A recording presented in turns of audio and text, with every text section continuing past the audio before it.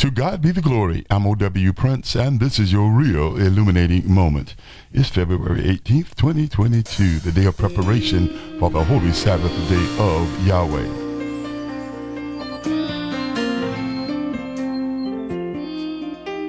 The powers that are now in control of the world have figured out that imagery and television, which is just a form of imagery transmission and communication, would easily program and brainwash folks into believing whatever television told them to believe is a form of control and manipulation.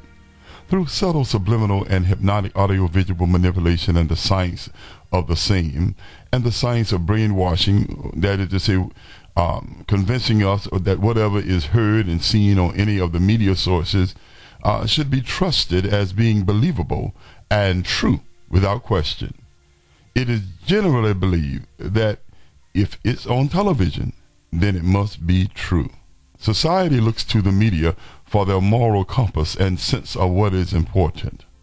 No one believes Yahweh as much as they trust and believe what the news says, or what the newspaper says, or what the televangelist says, or whatever is communicated over an audio video wave band says we all are susceptible to the power of suggestion and our own fears and imaginations to draw a predetermined conclusion from the narrative that the liar has told us.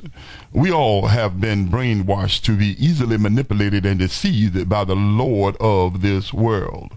Many of us have been so thoroughly deceived as to entertain and believe the lies of Satan communicated via his media distribution hub that said that Yahweh and his Holy Spirit abides in wickedness and sin, that the Lamb of God, Yehoshua HaMashiach, the one we call Jesus the Christ, actually advocates for oral and anal sex in and outside of a marriage. Uh, they have fooled us and deceived us and have tricked us into believing uh, that Yehoshua HaMashiach Mashiach is all for homosexuality. He is an advocate for same-sex unions and women serving in preordained roles for men. Through the media, we are told who to hate and who to love. We believe the images presented to us as representing the true heart of the matter, and we end up hating whole nations of people because we were told that they were bad and that their politics were evil. Uh, they portrayed Native Americans as wild, savage rapists who had to be driven off of their land and designated to reservations. And many looked down upon such people because of how they were characterized by the media. But look who wrote the narrative. Why were they painting such a dismal picture of the people that they murdered, demonized, and displaced? If we were willing to look, we can see the racial prejudice, bigotry, cultural demonization, and discrimination and hatred toward a whole race of people being taught over television.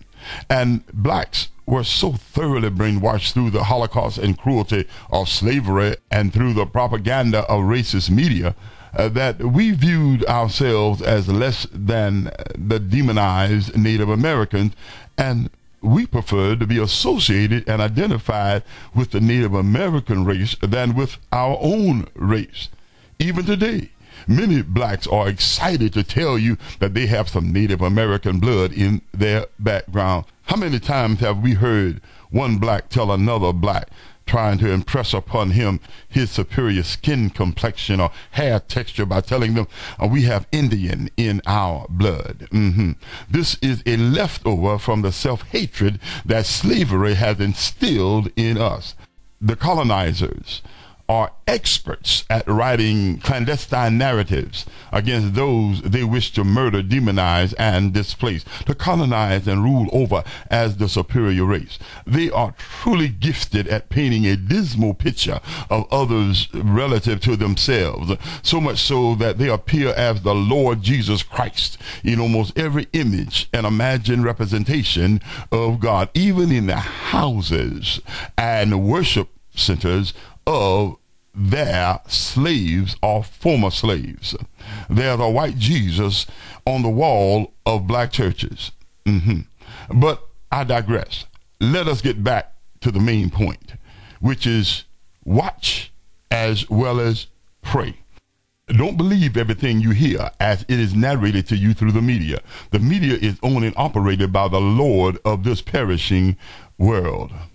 Investigate for yourself, praying as you go, trusting in the Holy Spirit who will guide us into all truth. And if the Lord shows you mercy, your eyes will be open to the truth. You will begin to see that the wrongs are now called right by the media you will begin to see that God and holiness are now the blunt of jokes. And God's name is now associated with vulgarity and vulgar opulence. Even the most abhorrent and vile are celebrated as belonging to the Lord Jesus Christ. All they have to do is say that they are Christian. And they do many vile things in the name of the Lord. And many of us have actually said amen to what they're doing. But regardless of what the Supreme Court says or what the media has redefined or represented as morally righteous and acceptable to God, compared to God, they are all liars. Only God is true. He does not change. All of his ways are perfect from the beginning. Yahweh is faithful. Place not your trust in anything having to do with humanity or humanity's princes and our rulers. Put all of your confidence, every bit of your trust in the Lord. Everyone and everything can be trusted, but the Lord never fails. God is faithful. God is holy. God is love. God does not lie, nor does he have any reason to repent from his own eternal holy word and law. We don't need to listen to any of Satan's messages or messengers regarding what is holy and right and what isn't. God is the author and finisher of our faith. He defines what is right and what is wrong for us. He tells us what is holy and what isn't. We can't be persuaded by amoral media propaganda or this new age tolerance of sexual perversion. If we are truly born again, we have the very spirit of holiness abiding in us and we abide in him. As we walk in the Spirit, we should be able to say to the world and to those who are perishing, Follow us as we follow Christ, for Christ is the definition and the ultimate example of holiness and righteousness. If we want to hear the truth, stop listening to the lie. If we want to hear the truth, Stop listening to the world's lies. Stop listening to the censored and fabricated fictional truth and seek Yahweh who is truth. Change your channel away from the world and turn your full attention to Almighty God. Only Yahweh saves. Saving faith comes by hearing the living word of God from one sent by Yahweh with his word. Salvation will not come through television or the lies of televised false prophets and visual images of the white Christian Christ and their slavery tainted murderous religious institutions and pagan traditions. No, those who worship God must do so in spirit and in truth, not in social religion and government sanctioned Christianity and a lie. No, you must, we must worship God in spirit and in truth in holiness and in truth. I choose spirit and truth. Repent. I'm O.W. Prince, and this has been your real illuminating moment. And as always, in parting, many are the afflictions of the righteous, but the Lord delivers him out of them all. Life hurts, but God heals. Keep looking up.